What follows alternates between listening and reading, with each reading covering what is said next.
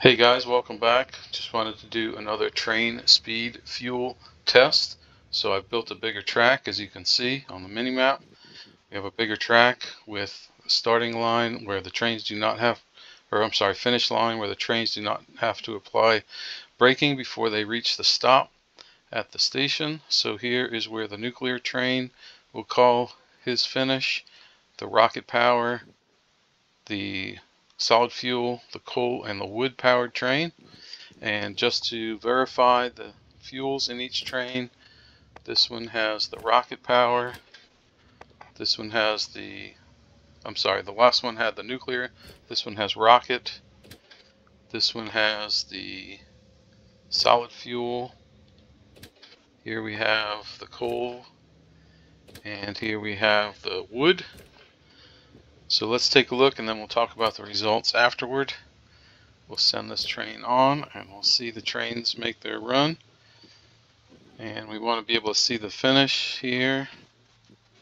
There's the nuclear, rocket, solid, coal and wood, you see, finished at the same time. And why is that? Everybody is curious about why coal and wood finished at the same time.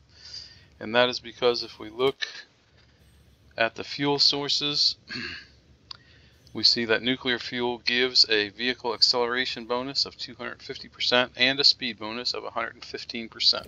So obviously that one's going to be the fastest. The rocket fuel gives an acceleration bonus of 180% and a top speed of 115%.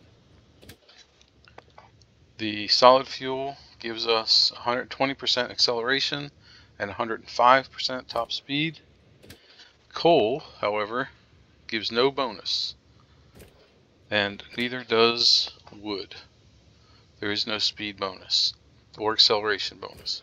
So coal and wood are effectively the same speed of train.